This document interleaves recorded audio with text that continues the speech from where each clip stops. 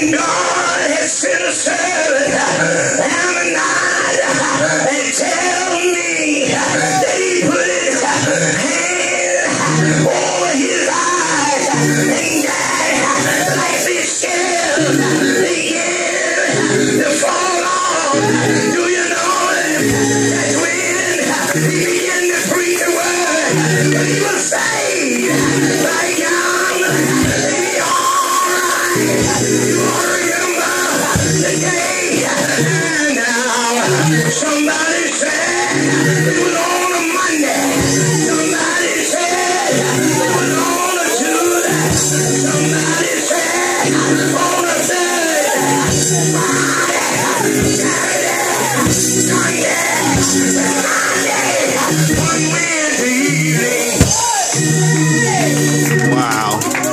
alright. You remember the Monday. Evening. Wow. Evening,